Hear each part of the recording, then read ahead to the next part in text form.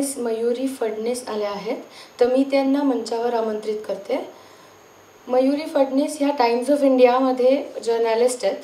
सो आपण त्यांच्याकडून त्या तिचे एक्सपिरियन्सेस वगैरे ऐकून घेऊयात. Air first and foremost I like to thank their policy centre for giving me this opportunity to address you guys about women in field of journalism Uh, for most of the Indians, the face of women journalism is that of Barkha Dutt, who went right into the war zone to cover Kargil war. But in our city itself, we have Vinita Deshmukh, who exposed Dow chemicals uh, and the pollution it could have caused river Indrayani and the surrounding villages. Uh, it's the same company whose subsidiary uh, company, Union Carbide, was the reason behind Bhopal gas tragedy. Besides that, uh, Dow Chemi- Chemicals is also infamous for causing pollution in uh, Virginia, the US. Um, had she not exposed that company back then, the villages around the river would have been doomed by now. Uh, it's not just these two examples, but I work with the Mirror and Mirror Group, which has four uh, editions that is Pune, Bangalore, Mumbai, and Ahmedabad. It is also governed by a woman. And there are many other women who are working in this field. The point that I want to make here is eh, even in media today, like any other field, there are so many women who are working and they they're going strong. Uh, globally, it is said that there are a lot of women at entry level or mid level positions, but when it comes to the top brass, there's still a scope for improvement. If you consider the case of Japan, Japan is uh, Japan's economy has been stagnated for the past many years, and the reason why they say it is because a large large part of their workforce is not uh, being utilized yet, and most of this workforce consists of women. So it gives you an, gives you an idea about what could happen if women do not step out of their house boundaries and go out to work.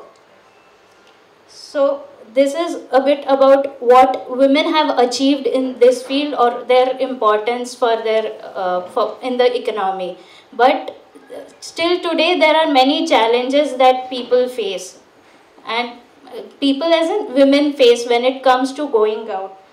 The many places people or women drop out of their careers is because for family reasons. The organizations are not that flexible as much as they could have been to support women on some fronts there are also uh, families who do not support i have been lucky to have a family my in-laws my husband who are very supportive of me and my career but I've seen a lot of my friends also who don't get this kind of support and which holds them back somewhere. Um, it's not hunky dory like uh, even though we have many women on top brass even in the media sector. Um, people often still consider women as the physically weaker sex and uh, I have had that kind of experience when I had gone to cover Siddhagad Wadi. Siddhagad Wadi is a remote village, and like Malin, the village also had huge cracks which were developed. When I uh, came back and contacted the uh, uh, Geological Survey of India, asked them to go and survey the location. They i told them the remote the remoteness of the village and the fact that it is very inaccessible so you better go with a local person. The man who was in charge he sort of you know smoked at me saying that just because just because you were a woman it was difficult for you. But that was not so. When he went himself he realized that it is indeed a difficult terrain and that is when he was like madam आप गई कैसे मेरे साथ जो आए थे वो तो चक्कर आके गिर गए थे आधे रास्ते में ही there is a lot of problem with stereotyping women also like when i was a kid people often used to tag me as a tomboy for my love for comfortable clothing short hair But that's not so. I'm also as much as a woman as in any other person. Just because I'm an aberration to, you know, the molds that the society has set, it does not make me any less of a woman.